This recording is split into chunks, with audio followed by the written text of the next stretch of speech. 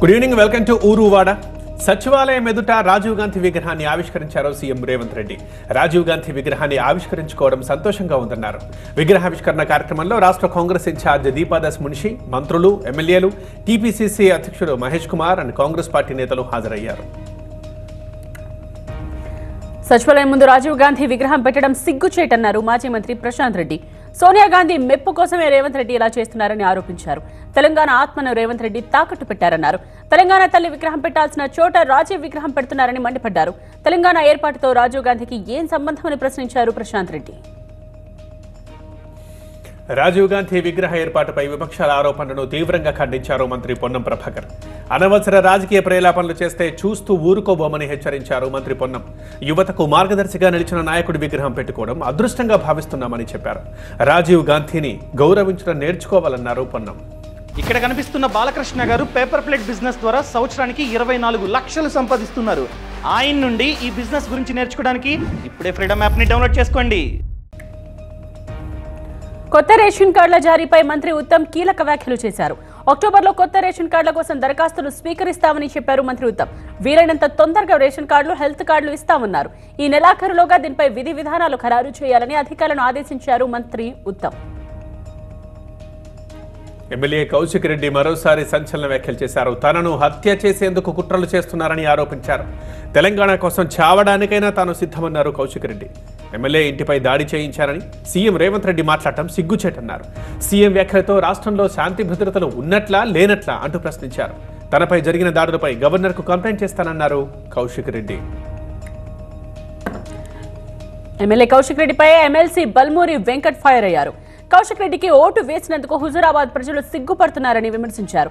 ఎన్నికల సమయంలో ఓటు వేయకపోతే చేస్తానని గెలిచిన తర్వాత ప్రాణహాని ఉందన్నడాన్ని తప్పుబట్టారు కౌశిక్ రెడ్డి విఘ్నతతో మాట్లాడాలని బల్మూరి వెంకట్ సూచించారు. గణేష్ నిమజ్జనం ప్రశాంతమైన వాతావరణంలో జరుపుకోవాలన్నారు కేంద్ర మంత్రి బండి సంజయ్. హిందువుల పండుగలకే ఆంక్షలు నిబంధనలు ఎందుకంటూ ప్రశ్నించారు. సెప్టెంబర్ పదిహేడు తెలంగాణ విమోచన దినోత్సవాన్ని బీఆర్ఎస్ మరిచిపోయింది. ఇప్పుడు కాంగ్రెస్ కూడా తెలంగాణ విమోచన దినోత్సవం జరపడం లేదని విమర్శించారు బండి. మాజీ మంత్రి కేటీఆర్ అవగాహన లేకుండా మాట్లాడుతున్నారని మండిపడ్డారు టీపీసీసీ చీఫ్ మహేష్ కుమార్ గౌడ్. తెలంగాణలో మరోసారి సెంటిమెంట్ను రెచ్చగొట్టి రాజకీయ లబ్ధి పొందాలనుకుంటున్నారని ఆయన విమర్శించారు. వచ్చే ఎన్నికల నడికి తెలంగాణలో బీఆర్ఎస్ కనుమరుగవుతుందని జోస్యం చెప్పారు మహేష్ కుమార్ గౌడ్. మూడు ముక్కలాటతో అమరావతిని నాశనం చేశారని ఫైర్ అయ్యారు మంత్రి నారాయణ. ఇప్పుడు అమరావతిపై సీఎం దిశానిర్దేశంతో ముందుకెళ్తున్నామన్నారు నారాయణ. డిసెంబర్ నెలాఖరులోగా టెండర్లు పిలిచి మూడు వందల అరవై కిలోమీటర్ల మేర అమరావతిలో రోడ్డు నిర్మిస్తామన్నారు నారాయణ. టీడీపీ హయాంలో నిర్మించిన భవనాలు దెబ్బతినలేదని ఐఐటి నిపుణులు నివేదికలు ఇచ్చారని చెప్పారు మంత్రి. చిత్తూరు జిల్లా పుంగనూరు పర్యటనలో ఎంపీ మిథున్ రెడ్డి సంచలన ప్రకటన చేశారు. అవసరమైతే పుంగనూరు నుండి పోటీ చేస్తారని ప్రకటించారు. ఎంపీ మిథున్ పుంగనూరు పర్యటన నేపథ్యంలో పోలీసులు భారీ బందోబస్తు ఏర్పాటు చేశారు. మాజీ మున్సిపల్ చైర్మన్ ఖాదర్ ఖాన్ కుటుంబాన్ని మిథున్ పరామర్శించారు. పుంగనూరులో పలువురు బాధితుల ఇళ్ళకు వెళ్ళారు మిథున్ రెడ్డి. గత ప్రభుత్వంపై కూటమి సర్కార్ విషం చిమ్ముతోందన్నారు మాజీ మంత్రి బుగ్గన రాజేంద్రనాథ్ రెడ్డి. సూపర్ సిక్స్ హామీలపై ప్రజలు ప్రశ్నిస్తున్నారన్నారు.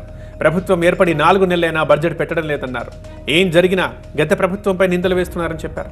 గత ప్రభుత్వంలో పార్టీలకు అతీతంగా సంక్షేమ పథకాలు అమలు చేశామన్నారు బుగ్గన.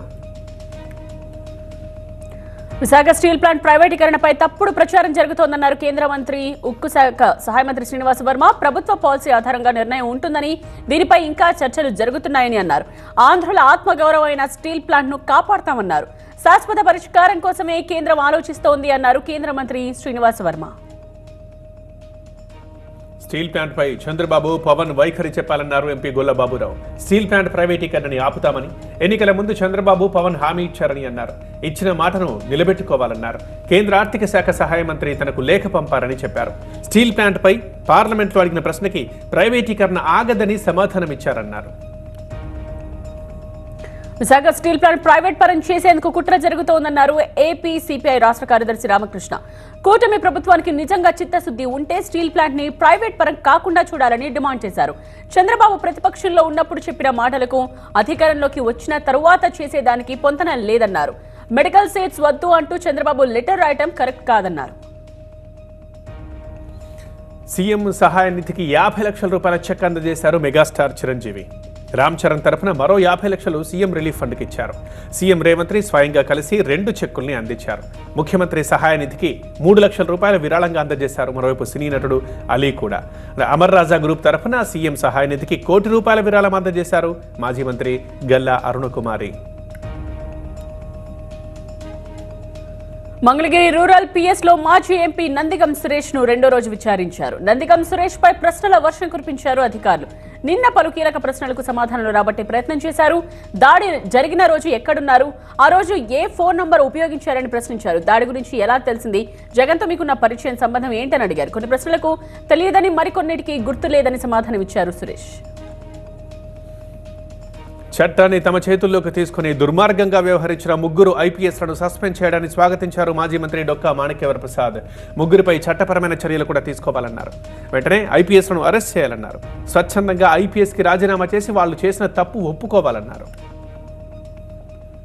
ఏపీ వైద్యారోగ్య శాఖ మంత్రి సత్యకుమార్ పుట్టినరోజు సందర్భంగా కడప జిల్లా బీజేపీ కార్యాలయంలో బీజేవైఎం శ్రేణులు మెగా రక్తదాన శిబిరం నిర్వహించారు. రక్తదాన శిబిరాన్ని జిల్లా అధ్యక్షుడు శశిభూషణ్ రెడ్డి ప్రారంభించారు.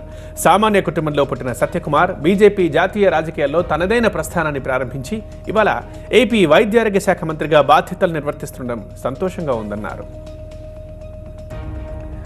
మాజీ ఎంపీ హర్షకుమార్ కీలక కామెంట్స్ చేశారు. ఓ వ్యక్తి సృష్టించిన ఉద్యమంలోకి తెలంగాణ ఆంధ్రప్రదేశ్లోని మాదిగలు గుడ్డిగా పెడుతున్నారని అన్నారు. అంటరాని తన ఆధారంగా ఎస్సీలకు రిజర్వేషన్ కల్పించాలన్నారు. ఎస్సీ రిజర్వేషన్ వర్గీకరణ క్రిమిలేయర్లను వ్యతిరేకిస్తూ గుంటూరులో జరిగిన సదస్సులో పాల్గొన్నారు హర్షకుమార్. రాహుల్ గాంధీ యుఎస్లో చేసిన వ్యాఖ్యల్ని నిరసిస్తూ శ్రీకాకుళంలో బీజేపీ ఓబీసీ మోర్చా ఆధ్వర్యంలో ఆ పార్టీ నాయకులు ఆందోళనకు దిగారు. శ్రీకాకుళం సూర్యమహల్ జంక్షన్ వద్ద రాహుల్ గాంధీ ఫోటోకు చెప్పుల దండ వేసి నిరసన తెలిపారు. భారత్లో రిజర్వేషన్లు ప్రమాదకరమంటూ అమెరికా టూర్లో రాహుల్ మాట్లాడటాన్ని తప్పుబట్టారు. మిలాదున్ నబీ వేడుకలు శ్రీకాకుళంలో ఘనంగా జరిగాయి. శ్రీకాకుళంలో ముస్లిం సోదరులు శాంతి ర్యాలీ చేపట్టారు. జీటీ రోడ్లోని జామియా మసీద్ నుండి ఏడు రోడ్ల కూడలి పాలకొండ రోడ్ రైతు బజార్ జంక్షన్ మీదుగా తిరిగి మసీద్ వరకు ర్యాలీ సాగించారు. ఈ ర్యాలీలో జిల్లా నలుమూలల నుండి వచ్చిన ముస్లిం సోదరులు పెద్ద సంఖ్యలో పాల్గొన్నారు. కెనడాలో హైదరాబాద్ వాసి మృతి చెందాడు. కెనడాలో ఎంఎస్ చదువుతున్న హైదరాబాద్ మీర్పేటకు చెందిన ప్రణీత్ తన అన్న పుట్టినరోజు వేడుకలకు స్నేహితులతో కలిసి టొరంటోలోని లేక్ క్లియర్లో స్విమ్మింగ్కు వెళ్ళాడు ఈత కొడుతూ ప్రమాదవశాత్తు నీటిలో మునిగిపోయాడు ప్రణీత్.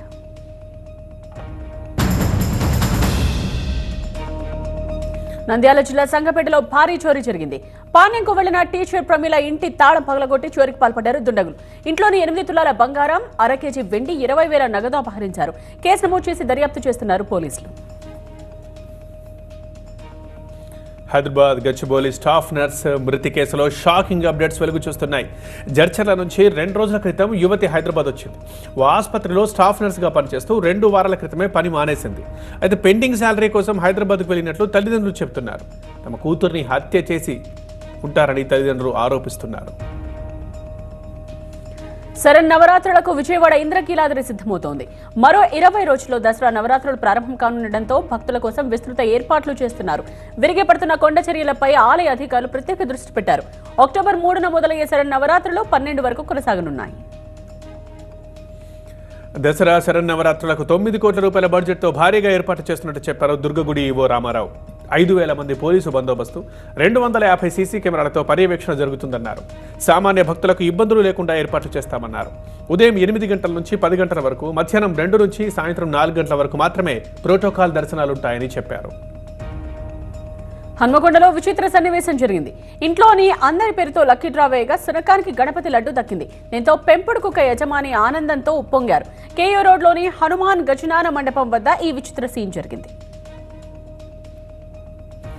హుసేన్ సాగర్లో వినాయక విగ్రహాల నిమజ్జనానికి అన్ని ఏర్పాట్లు పూర్తి చేశామన్నారు మంత్రి పొన్నం ప్రభాకర్. భాగ్యనగర్ ఉత్సవ కమిటీ సభ్యులతో తాను అన్ని విషయాలు చర్చించానన్నారు. సీఎం రేవంత్ ఎప్పటికప్పుడు ఏర్పాట్లపై ఆరా తీస్తున్నారన్నారు. TPCC chief Mahesh Kumar Goud. GHMC తరఫున నిమజ్జనం ఏర్పాట్లను ఎప్పటికప్పుడు పర్యవేక్షిస్తున్నట్లు మేయర్ విజయలక్ష్మి కమిషనర్ ఆమ్రపాలి తెలిపారు. మరోవైపు ట్యాంక్ బండ్ పై ఐరన్ గ్రిల్స్ బ్యారికెట్ల వివాదానికి ఫుల్ స్టాప్ పడింది. బ్యారికెట్ల ఏర్పాట్లపై భాగ్యనగర్ ఉత్సవ కమిటీ నిరసన వ్యక్తం చేసింది. దీంతో మరింత వివాదాస్పదం కాకముందే అధికారులు అలర్ట్ అయ్యారు. బ్యారికేడ్లను తొలగించి గణేష్ నిమజ్జనానికి భారీ క్రేన్లు ఏర్పాటు చేశారు అధికారులు. చివరి రోజు కావడంతో ఖైరతాబాద్ గణేశుని దర్శించుకునేందుకు భక్తులు లక్షలాదిగా తరలివచ్చారు. ఖైరతాబాద్ పరిసరాలన్నీ భక్తులతో సందడిగా మారిపోయాయి. ప్రస్తుతం స్వామివారి దర్శనాన్ని నిలిపివేసి పూజలు చేసి బడా గణేశుని మండపం నుంచి వేరు చేసే పనులు చేస్తున్నారు. ఖైరతాబాద్ గణేశు నిమజ్జనంలో అవాంఛనీయ ఘటనలు జరగకుండా పోలీసులు భారీ ఏర్పాట్లు చేస్తున్నారు. గణేష్ నిమజ్జనం దృష్ట్యా రేపు అర్ధరాత్రి రెండు గంటల వరకు మెట్రో సర్వీసులు నడపాలని నిర్ణయించారు. నిమజ్జనం రోజు నిరంతరాయంగా ఎంఎంటీఎస్ సేవలు కొనసాగనున్నాయి. ప్రత్యేకంగా ఎనిమిది ఎంఎంటీఎస్ రైళ్ళను నడపనున్నారు. జీహెచ్ఎంసీ పరిధిలోని అన్ని బస్ డిపోల నుండి ట్యాంక్ బండ్ పరిసరాలకు ఆరు వందల సర్వీసులు నడుపుతామని చెప్పారు ఆర్టీసీ ఎంపీ సజ్జనార్. నిమజ్జనాల కోసం జీహెచ్ఎంసీ ఏర్పాట్లు పూర్తి చేసింది. ట్యాంక్ బండ్పై రద్దీ తగ్గించేందుకు జాగ్రత్తలు తీసుకుంది. జీహెచ్ఎంసీలోని ఆరు జోన్లలో ఐదు చెరువులు డెబ్బై మూడు కుంటల్ని సిద్ధం చేసింది. ఇరవై ఐదు వేల మంది పోలీసులతో భద్రత ఏర్పాటు చేస్తున్నారు. సమస్యాత్మక ప్రాంతాల్లో అదనపు బలగాల్ని మోహరించారు.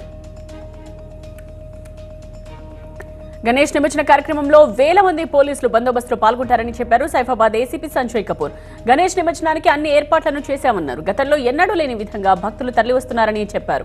ఎన్టీఆర్ మార్గ్లో ఏర్పాటు చేసిన క్రేన్ ద్వారా ఖైరతాబాద్ బడా గణేష్ నిమజ్జనం జరగనుంది. మధ్యాహ్నం ఒంటి గంట ముప్పై నిమిషాల లోపే గణేష్ నిమజ్జనం చేసేందుకు ఏర్పాట్లు చేశారు. తూర్పుగోదావరి జిల్లా రాజమండ్రిలో ఆపరేషన్ చిరుత పదకొండు రోజులుగా కంటిన్యూ అవుతోంది. దివాన్ చెరువు అభయారణ్యంలోకి ప్రవేశించిన చిరుతని బంధించేందుకు అధికారులు విశ్వ ప్రయత్నాలు చేస్తున్నారు. తాజాగా చిరుత అడుగుజాడలు అటవీశాఖ కంటపడ్డాయి. చిరుతని ట్రాప్ బోన్లతో పట్టుకునే ప్రయత్నాలు జరుగుతున్నాయి. Rajahmundry housing board colony Autonagar అటవీ ప్రాంతానికి ఆనుకుని ఉన్న ఏరియాల ప్రజల్ని సాయంత్రం ఆరు గంటల తర్వాత బయటకు తిరగకుండా జాగ్రత్తగా చూసుకోవాలని అధికారులు హెచ్చరించారు. తెలంగాణ రాష్ట్రానికి నిజాం రాచరిక పాలన నుండి స్వాతంత్రం వచ్చిన సెప్టెంబర్ పదిహేడును కాంగ్రెస్ ప్రభుత్వం అధికారికంగా ప్రజాపాలన దినోత్సవం నిర్వహిస్తోందన్నారు. కాంగ్రెస్ ఎంపీ మల్లు రవి ఈ కార్యక్రమాన్ని విమోచన దినంగా నిర్వహించాలని డిమాండ్ చేస్తూ కేంద్ర మంత్రులు అమిత్ షా కిషన్ రెడ్డి బండి సంజయ్ లాంటి వారు దూరంగా ఉండటం మంచిది కాదన్నారు. ఎప్పటికైనా వారు మనసు మార్చుకుని ప్రజాపాలన దినోత్సవంలో పాల్గొనాలని మల్లు రవి అన్నారు. అహ్మదాబాద్ మెట్రో ప్రాజెక్ట్ని ప్రారంభించారు ప్రధాని మోదీ. ఈ కార్యక్రమానికి గుజరాత్ సీఎం భూపేంద్ర పటేల్ తదితరులు హాజరయ్యారు. సెక్షన్ వన్ మెట్రో స్టేషన్లో జెండా ఊపి రైలుని ప్రారంభించారు. సెక్షన్ వన్ మెట్రో స్టేషన్లో రైలు ఎక్కిన Modi gift city metro station వరకు ప్రయాణం చేశారు. విద్యార్థులతో ముచ్చటించారు వాళ్ళ బాగోగులు అడిగి తెలుసుకున్నారు. త్రిపుర రాజధాని అగర్తలలో నిర్మించిన సిద్ధేశ్వరి ఆలయాన్ని UP CM Yogi Adityanath Tripura CM Manik సహా ప్రారంభించారు. ఈ ఆలయాన్ని శాంతికార్య ఆశ్రమం నిర్మించింది. ఆలయానికి వచ్చేసిన యోగి ఆదిత్యనాథ్కు ఆశ్రమ ప్రతినిధులు ప్రత్యేక పూజలు నిర్వహించారు. ఆయన పుష్పాలతో పూజించి ధూపం సమర్పించారు. ఆ తర్వాత ఆయన పాదాలను కడిగారు. సీఎం పదవికి రాజీనామా చేసేందుకు రెడీ అయ్యారు కేజ్రీవాల్. ఆయన ప్రకటనతో కొత్త సీఎం ఎవరు అన్నదానిపై ఇప్పుడు ఉత్కంఠ పెరిగింది. ప్రజల నుంచి నిజాయితీ సర్టిఫికెట్ అందుకున్న తర్వాతే తిరిగి సీఎంగా బాధ్యతలు స్వీకరిస్తానని ప్రకటించారు కేజ్రీవాల్. సీఎం పరిశీలనలో ఇప్పుడు అనేక మంది పేర్లుండగా మైనారిటీలకు అవకాశం ఇవ్వాలి అన్న యోచనలో చర్చలు సాగుతున్నాయి. గుజరాత్ గాంధీనగర్లో గ్లోబల్ రెన్యూవబుల్ ఎనర్జీ ఇన్వెస్టర్స్ మీట్ను ప్రారంభించారు ప్రధాని మోదీ. ఈ వేడుకకు పలు దేశాల ప్రతినిధులు హాజరయ్యారు. తెలుగు రాష్ట్రాల నుండి ఏపీ సీఎం చంద్రబాబు తెలంగాణ నుండి డిప్యూటీ సీఎం భట్టి విక్రమార్క హాజరయ్యారు. గ్రీన్ హైడ్రోజన్ భవిష్యత్ ఇంధన పరిష్కారంపై సదస్సులో చర్చించారు. తనపై ఎలాంటి ఒత్తిడి పనిచేయదని ప్రధాని మోదీ అన్నారు. అదే సమయంలో భవిష్యత్ తరాలకు మేలు చేయాలనే ఒత్తిడి తనపై ఉందని అన్నారు. అవసరాలకు సరిపడా వనరులు మన దగ్గర ఉన్నాయి కానీ మన అత్యాశలకు అవి సరిపోవడం లేదని తెలిపారు. నెట్ జీరో అన్నది ఫ్యాన్సీ పదం కాదని అది భారత్ అవసరము నిబద్ధత అని అన్నారు మోదీ. రీఇన్వెస్ట్ సదస్సులో ప్రసంగించిన తరువాత ప్రధాని మోదీ నేరుగా ఏపీ సీఎం చంద్రబాబును కలిశారు. వేదికపై ఆయనతో కరచాలనం చేసి ఏదో విషయాన్ని ఆయనకు వివరించారు. మైక్ శబ్దం ఎక్కువ ఉండడంతో దగ్గరకు వచ్చి వచ్చిన మరి ఆయన ఆయనతో ఏదో చెప్పారు. దాదాపు పదిహేను సెకండ్ల పాటు చంద్రబాబుకు మోదీ షేక్ హ్యాండ్ ఇస్తూనే ఉన్నారు. నాన్ రెన్యూవబుల్ ఎనర్జీ విషయంలో తాము భారీ స్థాయిలో వెళ్తున్నామని ఏపీ సీఎం చంద్రబాబు తెలిపారు.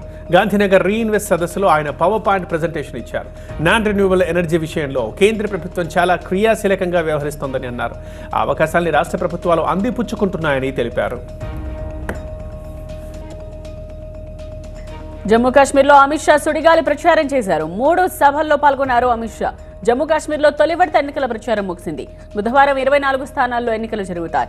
చినాబ్ వ్యాలీలో తొలి విడత ఎన్నికలు జరుగుతాయి. ఉగ్రవాద ప్రభావిత ప్రాంతాలపై దోడా కిస్టవర్ రాంబాన్ అనంతనాగ్ పుల్వామా కుల్గాం జిల్లాలో తొలి విడత పోలింగ్ జరుగుతుంది.